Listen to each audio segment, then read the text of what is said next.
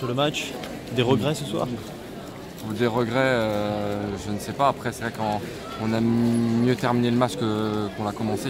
C'est ça peut-être où il y a des regrets parce qu'on n'a pas trop joué en, première. En deuxième, ils ont peut-être géré, mais nous, on a eu un peu plus de situations quand même euh, devant le but. Donc, euh, on va dire qu'on a forcément, euh, forcément déçu, mais après le parcours qu'on a fait, je pense qu'on peut être content de, ce qu'on a fait. C'était un bon moment quand même. ouais, après le stade était quasiment plein, ou voire plein, donc euh, il y avait de l'ambiance. Dommage qu'on n'a pas réussi à enflammer le match euh, et à revenir à deux, parce que je pense que là ça aurait poussé encore un peu plus. Mais on termine quand même sur une bonne note, le président vient de nous le dire, donc je pense qu'on est content quand même de ce qu'on a fait.